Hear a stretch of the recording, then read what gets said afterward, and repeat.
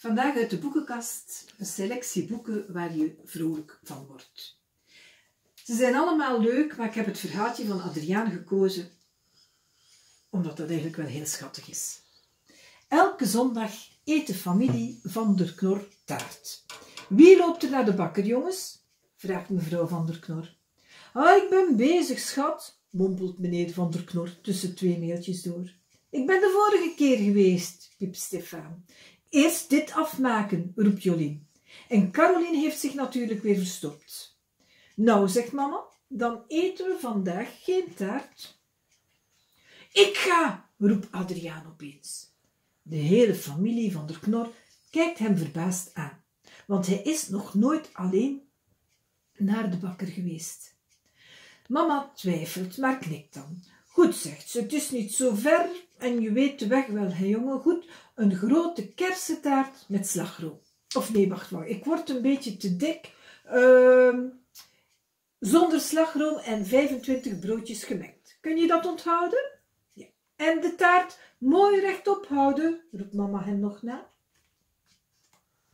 Adriaan kent de weg naar bakker Jan op zijn duimpje. Hij het pleintje over, door het park, over de brug, de hoek om. Oh, wat een rij.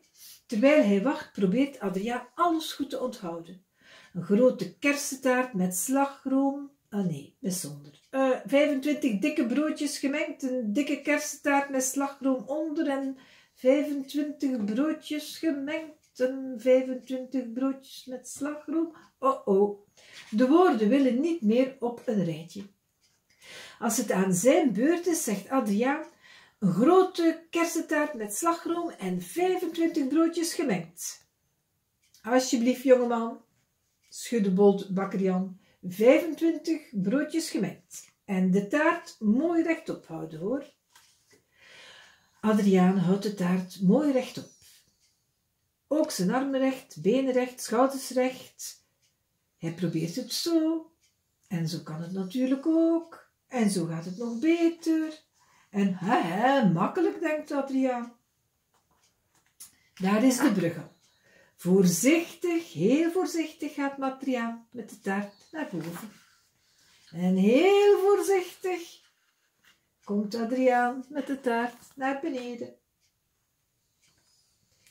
In het park neemt hij de kortste weg over het heuveltje, mooi rechtop, mooi rechtop. Maar hoe kun je nu een taart rechtop houden als de grond scheef is?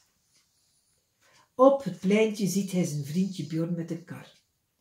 Alles wat Bjorn opraapt, gooit hij in de kar. En die taart van Adriaan kan er ook bij. Ja, is je kar wel recht? Wil Adriaan eerst weten. Superrecht, knikt Bjorn. Nu mag de taart een ritje maken rond het pleintje. Bij een bank rust Adriaan even uit. De taart zet hij veilig dichtbij. De hele tijd kijkt hij naar de vogeltjes en zegt, nee, nee hoor, wij gaan die straks opeten. Maar voor hij verder loopt, wil hij toch eens in de doos kijken. Hij maakt het touwtje los, hij tilt het deksel op en... Oh, oh, de hele taart is door elkaar gehutseld.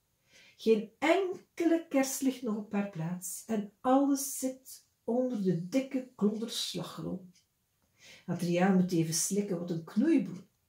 Twee dikke tranen prikken in zijn ogen, maar dan heeft hij een idee. Hij eet alle slagroom van de taart en het laatste restje likt hij van de doos. Met de taart prachtig rechtop gaat Adriaan naar binnen.